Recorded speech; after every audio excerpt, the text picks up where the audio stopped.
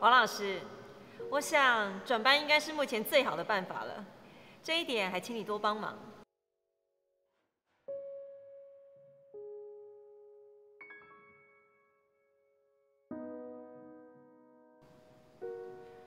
这我们家长也是非常的不得已，才会向王老师提出这样的请求的。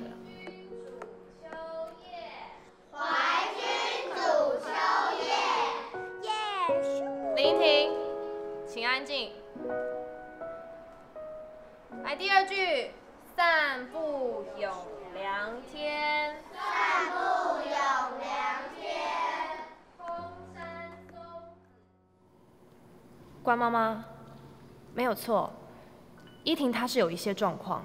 王老师，林依婷她不是只有一些状况而已。林依婷，林依婷。好，我们现在来看这个字。白痴。王老师，林依婷她是班上很严重的问题。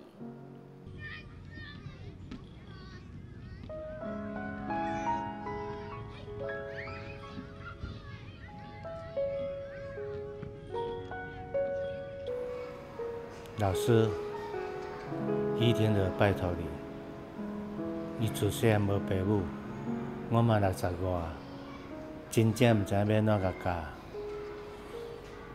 孩子回来都会在家里面抱怨，他在学校里没有办法好好上课。他说班上每一天都重复着很讨厌的事情，让他越来越不想去上课。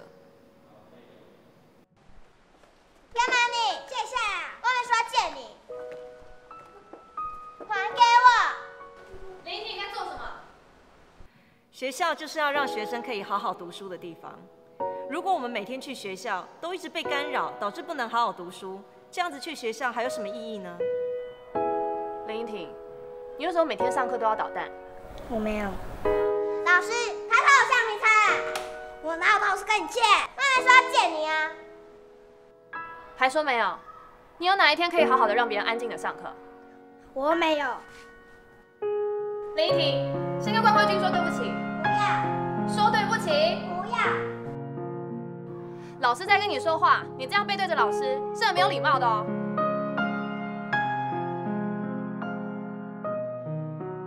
害群之马，你才害群之马嘞！我叫我妈把你调走，调到底谁稀罕？林依婷，你再这么没有礼貌，老师要生气哦。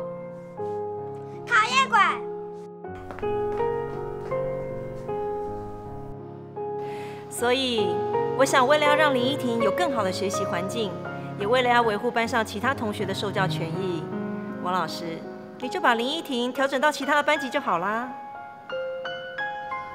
那班上遮尔困扰，无你就该调班吧。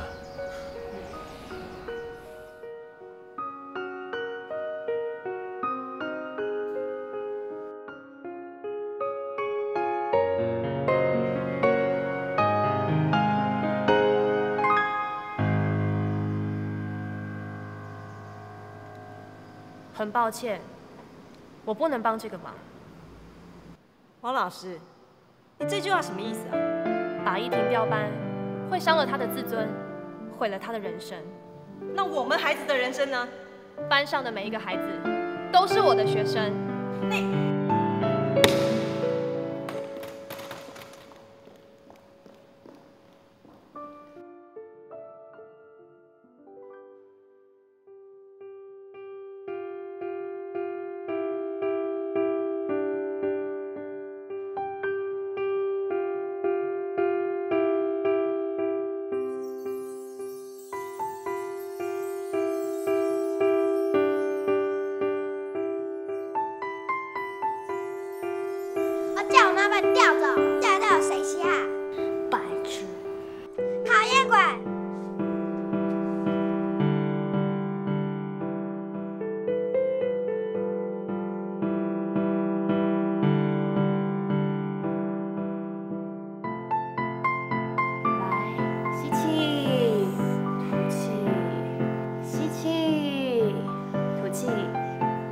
比较不气？还是要加气。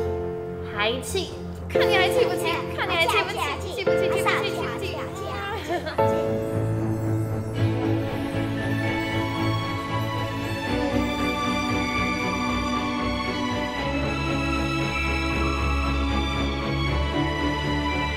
是我告诉你的秘密哦。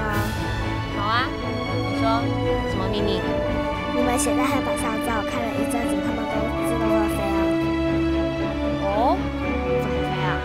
像我这样乱飞啊。那你看到黑板字乱飞的话，会怎么样？嗯，很烦呐、那如果你以后看到黑板字又乱飞的话，你就上来把它消灭。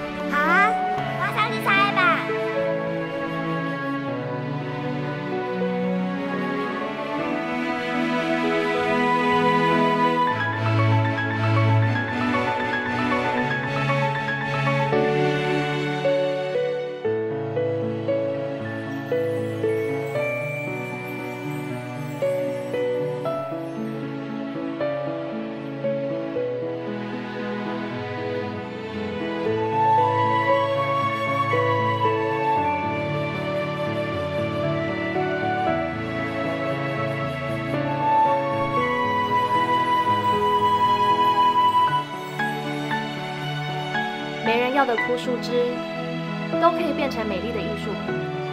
我的学生，难道比不上枯树枝吗？